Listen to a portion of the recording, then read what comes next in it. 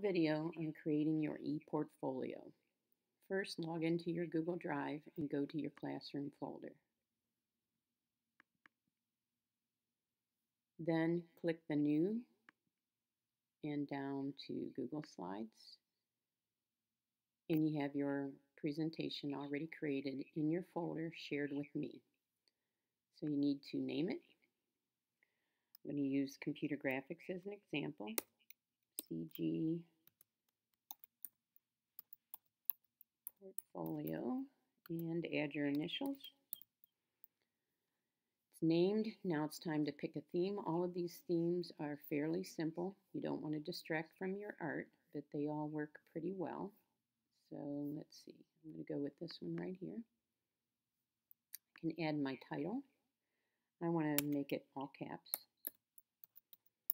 it's dying decision on my point, on my part. Okay, then I can change my font. I'm going to go with this script here. I can change the size. Click on those three dots. If you don't see it up already, go down, click 60. Then for the subtitle, you should have your um, whatever course you're taking and the level. So computer graphics. One. And oops, left out the I there. Computer graphics one. Then your name. And a little something here. Let's do it on this side. There you go. Just to separate them a little bit. And then you're ready to add your other slides. So you go up to slide, new slide. You can add all of them that you're going to be working with at once, or you can do it one at a time. Computer graphics, I'm going to require you to have an introductory slide. So you're going to say, welcome to my portfolio.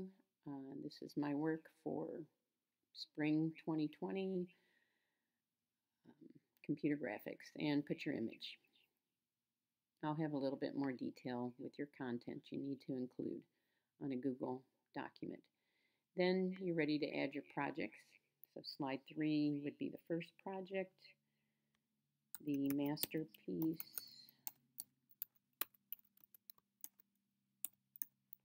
photo manipulation. Okay, you're going to need to add some text the text is going to be a little bit about what you did for the project, what the project was, and you have to include the software used on each project. So the first one could be something like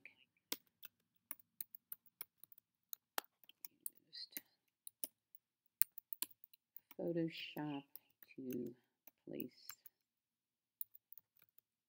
my face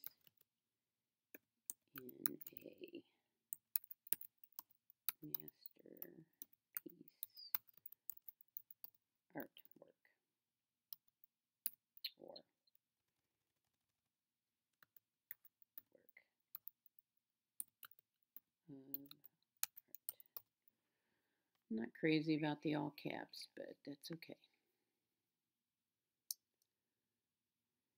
Then you add your image. And if you've turned in your projects properly, you should have them all on the drive, your final JPEG images. It has to be a JPEG. So I'm going to go to Insert, Image, over to the drive click on My Drive. Hopefully we have your folder moved into your drive. If not, there's Shared With Me is right here, and you can browse out for it there. I need to navigate to the folder. Period 2, Kobe. His masterpiece.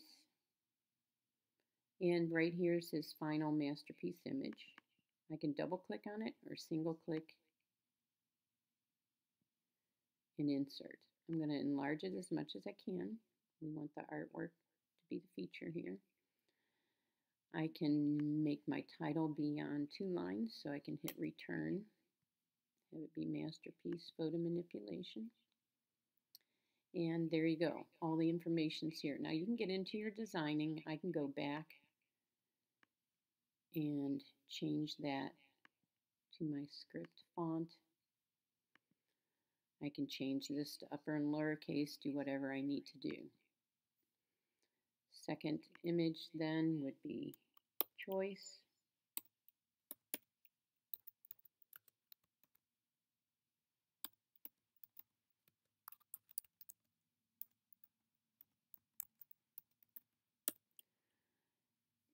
And the text would be very similar.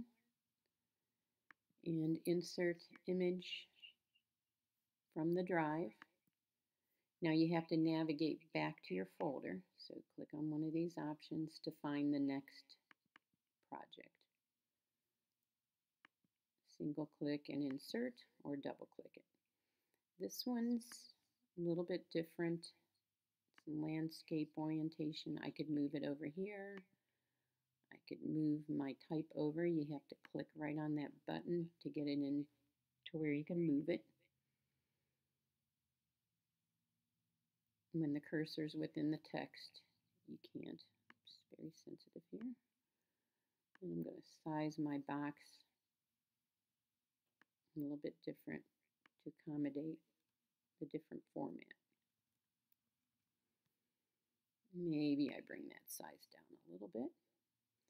So you see a little bit of how you can adjust your design, how to get the images in there, how to start the slideshow, Hopefully you get it right into that Google folder, no problem, and start building it. Check the Google Doc with the specifics of what you need to include and the information.